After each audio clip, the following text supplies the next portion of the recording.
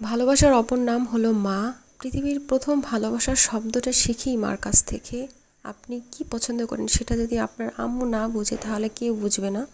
তো হ্যালো ইব্রান, আসসালামু আলাইকুম, welcome back to my new video. আজকে শেয়ার করছি, ছোটো বোন নিয়ে এসেছিল কাচির ভাত, সাথে অনেক ধরনের ভর্তা। তো এগুলো সব আমার পছন্দের খাবার। আমি অনেক মানে কাজের ভাত আমার খেতে ইচ্ছা করছে।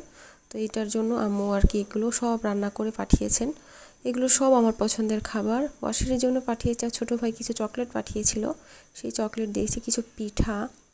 আমি বলেছি রসের কোনো পিঠা না পাঠাতে। এই ধরনের এই যে ভর্তাগুলো দেখতেই পাচ্ছি এগুলো সব আমার মায়ের হাতের।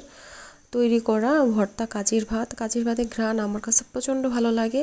ইভেন আমি যখন এই ভাতটা মানে ঢেলে আর কি বোলের মধ্যে রেখেছি, আমি অনেকক্ষণ বসেছিলাম কাজির ভাতের ঘ্রাণ। ইভেন এখনও বাসায় আসে এখন আমার কাছে মানে নাকের মধ্যে নিয়ে মনে হয় এত ঘ্রাণটা আমার এত বেশি পরিমাণ ভালো লাগে।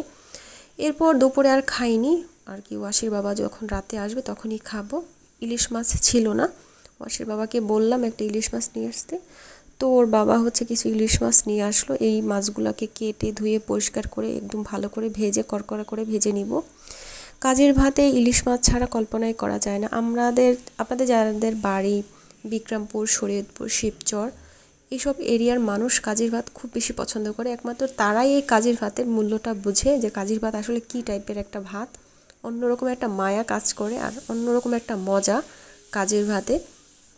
মানে খেতে ইচ্ছা করে একটা ফ্লেভার আসে মানে একটা টকটক ফ্লেভার এই ভাতটা তৈরি করতে আমার একটু সময় লেগেছে, কারণ হচ্ছে এখন যেহেতু শীতের মৌসুম, শীতের মৌসুমে কাজের ভাত হতে একটু সময় লাগে, কারণ গরমকালে এটা দুই এক দিনের মধ্যেই হয়ে যায়।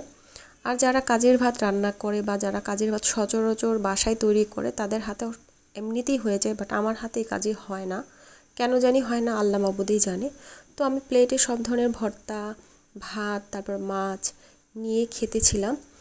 একদম এক নলা, প্রথম নলা দেওয়ার সাথে সাথে আমার কাছে এতটা ভালো ফিল হয়েছে যেটা বলার বাইরে।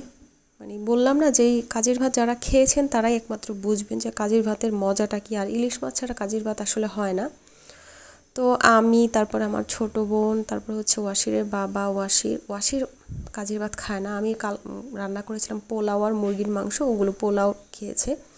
কখনোই ওয়াশির কাজের ভাত খায় না। ও এগুলো বুঝেও না। তো যাই হোক, না বুঝলি না বুঝুক, আমার খাওয়ার কামে আমি খাই। এরপর হচ্ছে সবাই মিলে একসাথে খাওয়া দাওয়া করার মজাই কিন্তু অন্যরকম একটা। তো আসলে মা মানেই হচ্ছে মানে আপনার কোন খাবারটা পছন্দ করেন আপনি, সেগুলো খেয়াল রাখে। একদম, আমি এর আগেও একটি ভিডিওতে বলেছিলাম, একদম আপনি বৃদ্ধ হয়ে গেলেও আপনার মা কাছে আপনি ছোট, আপনি সন্তান। তো সে খেয়াল রাখবে যে আপনি কি খাবার খেতে পছন্দ করেন। তো আমার ছোটো বোন যখন এসেছে, তখন আমার আম্মু ফোন দিয়ে আর কি বলছে যে, ও কি আরও শুকাই গেছে কি না?